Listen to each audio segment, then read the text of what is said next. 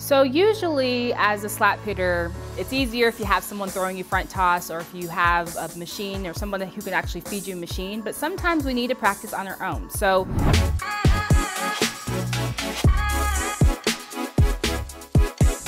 sometimes we don't know how we should practice our slaps off of a tee. So today we are going to work on a drill where we are gonna just be crossed over. And we're gonna work through a progression that's going to help you with not only your soft slaps, but your hard slaps. This Tasha tip is brought to you by DeMarini. The new DeMarini Prism is not only aesthetically pleasing, but it performs like a champ. Make sure you check out the Prism at demarini.com. When we are crossed over, we want to make sure that we are in the front of the batter's box. We want to make sure that we're setting up our tee in front of home plate again to simulate where we want to make contact. And when we're doing this, we're gonna just do our first round stagnant. So whenever I say stagnant, you're just gonna stay in this position, not moving. Working on your hands only.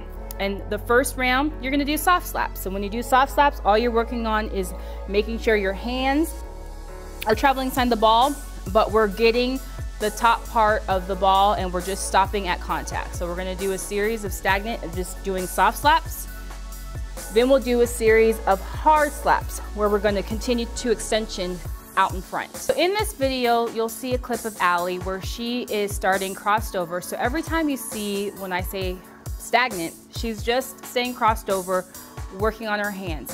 So for the first round, you see her just stopping at contact when she's doing her soft slaps. Then you'll see her be stagnant, working on her hard slaps, working on getting through extension.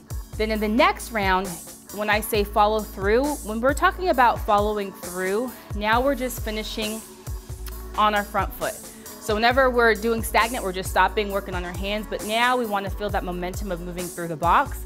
So now after contact, we're going to follow through on our right foot. So we'll do a series of soft slaps the same way with our follow through after contact finishing. And then we'll finish with a series of hard slaps with our follow through. So now you've seen uh, an example of what you could do off of a tee, working your crossover, working your soft and your hard slaps. But what you want to make sure that you are focusing on is you're working on your back control, you're working on your path, your hand path to the ball. And also with the follow through, you're gonna kind of simulate the feeling of moving through the box and moving towards the pitch. So this is going to be a great drill for you to incorporate if you are working on your own. I have a three-part mini video series on the slapping basics. Download it from the link below. And also, if you want to join a community of softball parents and coaches, players, I have conversations all about slap hitting. I would love for you to join my secret society and a free Facebook group where we share tips, drills, and motivation.